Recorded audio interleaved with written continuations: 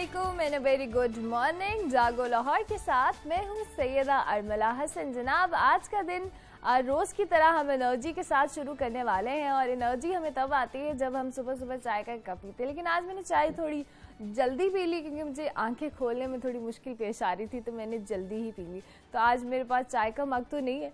लेकिन आ, कोई बात नहीं बहुत सारे लोग इस वक्त हाथ में चाय का मग लिए बैठे होंगे टीवी के आगे क्योंकि हम आपको इन्फॉर्मेशन तो देने वाले हैं उसके साथ साथ आज हम आपको अवेयरनेस के हवाले से भी बात करने वाले हैं। पोलियो का आलमी दिन मनाया जा रहा है उस पर भी हम बात करेंगे लेकिन उससे पहले दुनिया भर में बहुत सारे अनोखे काम भी होते हैं वो भी जरा हम आपको बता देते हैं। अनोखा जनाब एक घर है अमरीकी रियासत है कैलिफ़ोर्निया।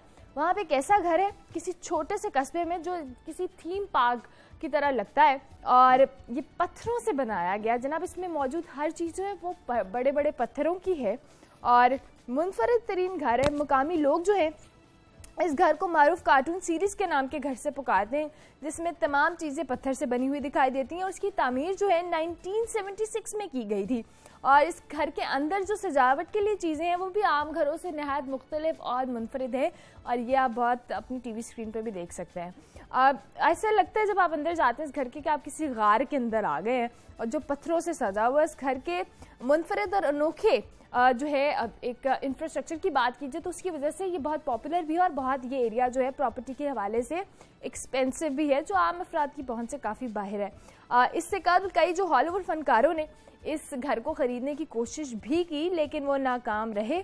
अलबत्ता, इस घर को ख़रीदने वाली शख्सियत मारूफ तो नहीं दौलतमंद ज़रूर है जो उसको ख़रीदने में कामयाब होगी, क्योंकि ये घर 28 लाख डॉलर में ख़रीदा गया है।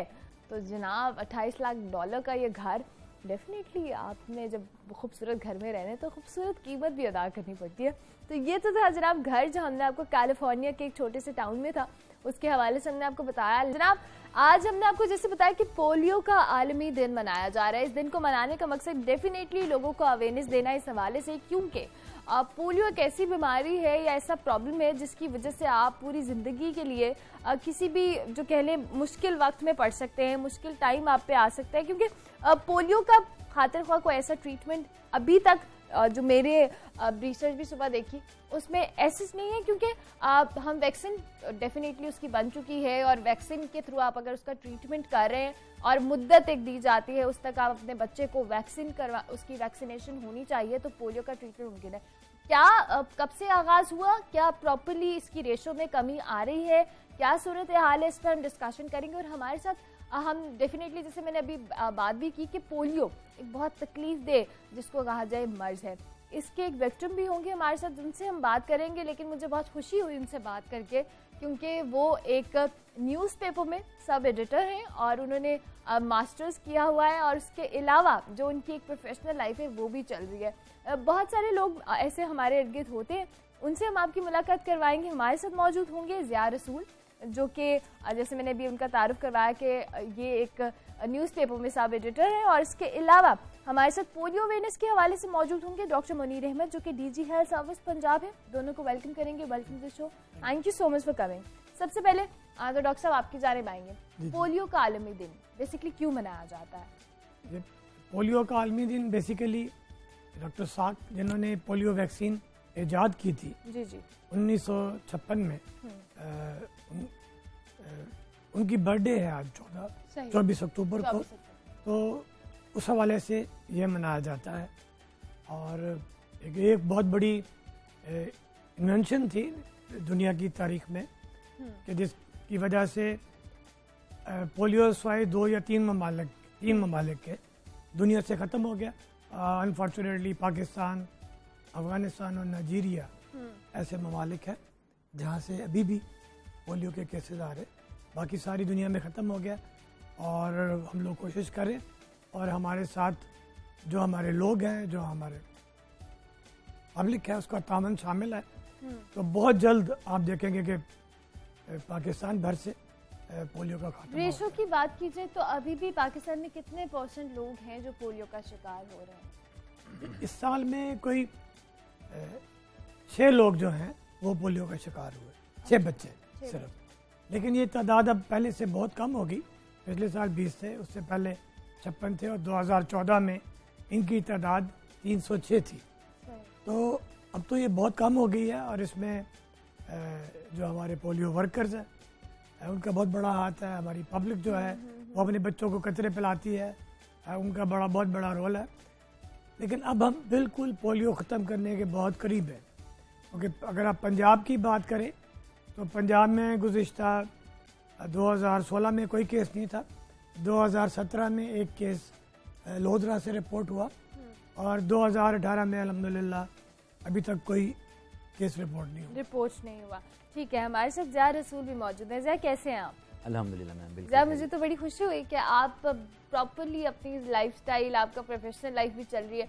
जानना चाहेंगे पोलियो का प्रॉब्लम आपको हुआ कब? Ma'am one and half year का था जब मुझे जो है ना पोलियो का अटैक हुआ। हम्म। पहले मैं बिल्कुल ठीक चलता था लेकिन उसके बाद जो है मुझे अटैक हुआ। तो उससे अब डेफिनेटली आपने वैक्सीनेशन वगैरह तो आपके पेरेंट्स ने कराई होगी लेकिन उसके बावजूद आपको इस तरह का प्रॉब्लम फेस करना पड़ा। अच्छा तो अब भी आपको किस तरह से आप अपनी ज़िंदगी को लेके चले? क्योंकि डेफिनेटली पूरी ज़िंदगी का एक आप पे आ गया।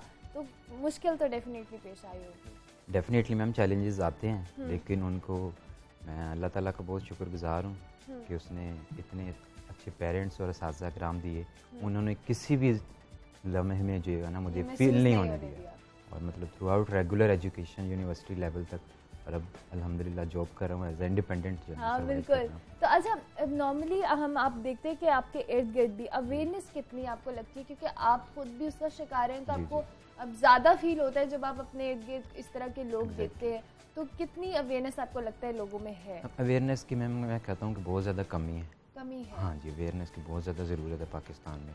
एक डिसेबल पर्सन के जो स्टीरियो टाइप्स हैं वो उनको ब्रेक करना चाहिए। उनको जो है ना घरों तक महदूद नहीं होना चाहिए बल्कि उनको प्रैक्टिकल लाइफ मेन स्ट्रीम जो है ना उसको सर्कल में लाना चाहिए। हम्म, हम्म। क्योंकि कोई भी है ना कमी किसी वजह से बंदे को डीप ग्रेट नहीं होना चाहिए बल्कि इंसान हर अज़म हो तो वो सब कुछ कर सकते हैं इंसान। हाँ अच्छा हमने पोलियो की बात करें अब वैक्सीनेशन अब अभी तक कुछ खास पत, अब, मतलब खातिर ख्वाब मुझे इस तरह से क्योंकि मैं सुबह भी एक रिसर्च पढ़ी थी पोलियो के हवाले से कहते इसका कोई अब वो एक कह लेना कि हंड्रेड परसेंट गारंटी हो वैक्सीनेशन से कि ये पोलियो का अटैक नहीं होगा। ऐसा है? जी बिल्कुल। जैसे जैसे पोलियो वैक्सीनेशन की शरह बढ़ती जाती है हम्म। पोलियो केसेस नहीं आते हम्म। बिल्कुल भी नहीं आते। लेकिन अगर कोई बच्चा मेल नरिश्ड है या गजाई किल्लत का शिकार है उनमें कुत मुदाफ़त ज़रा कम होती है और वो पोलियो के कचरे पीने के बावजूद बाज़ात पोलियो का शिकार हो जाते हैं। आ, लेकिन उनमें फिर इस बीमारी की जो शिद्दत है वो बहुत कम होती है। यानी आपको बहुत गौर से देखें तो पता चलेगा कि इस बच्चे को पोलियो है। बहुत गौर से। वरना वो चलेगा फिरेगा भागेगा दौड़ेगा हम बच्चों की तरह। तो जो हमारा एक केस हुआ था चकवाल में जिसने कोई बारह डोजेज पी ली थी और उसमें वो अलहमदिल्ला 95 परसेंट से ज़्यादा रिकवर किया और वो ऑलमोस्ट ठीक चलता। तो जो और नॉर्मली अभी अगर आप देखें तो 2016 में कोई केस नहीं आया पंजाब में। तो इसका मतलब है वैक्सीनेशन हुई तो पोलियो का केस नहीं आया। सत्रह में सिर्फ़ एक केस आया रोदरा से और अठारह में फिर कोई तो आपको लगता है कि वही केसेस हैं जो रिपोर्ट हो गए हैं या जो हाँ जी मैडम इसके लिए हमारा एक बहुत अच्छा सिस्टम है सर्विलेंस सिस्टम है।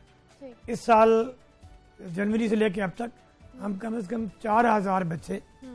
जो है वो पोलियो के लिए इन्वेस्टिगेट कर चुके हैं। हम्म, हम्म। पंजाब में और उनमें किसी में भी पोलियो का वायरस नहीं पाया गया। नहीं पाया गया।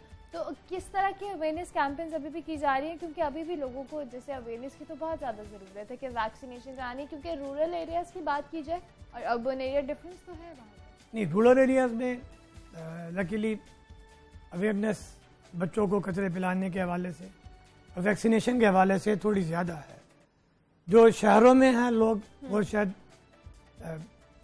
उस तरह से लोगों को कोई फियर है कि शायद हमारी कोई वैक्सीन में नुक्स है या कोई हम्म। वैक्सीन की क्वालिटी नहीं है या फिर हम हर महीने उनके दरवाजे पे कचरे पिलाने आ जाते हम्म। हैं हम्म। और अभी जो एक लेटेस्ट सर्वे हुआ जो Pakistan demographic and health survey जो वफाकी हुकूमत ने किया तो पंजाब में ये बड़ी इंटरेस्टिंग चीज़ देखने में आई कि जो देही इलाके में है उनमें वैक्सीनेशन शहरी इलाकों से ज़्यादा है तो अब हम इंशाल्लाह ज़्यादा फोकस कर रहे हैं शहरी इलाकों की तरफ़ क्योंकि पहले हमारा ज़्यादा फोकस देही इलाकों की तरफ़ था अच्छा।